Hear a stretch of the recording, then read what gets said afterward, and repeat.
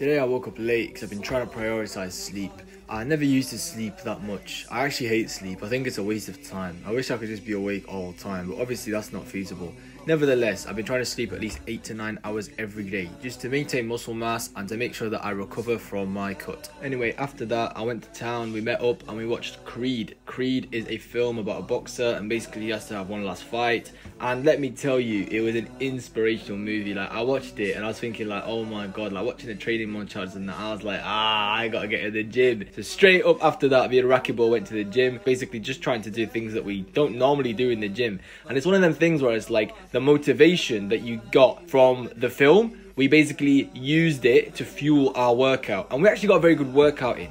And I know I say internal motivation over external motivation, but when you get external motivation, make sure to use it up ASAP, otherwise it can go. That's the important thing here. Let's go.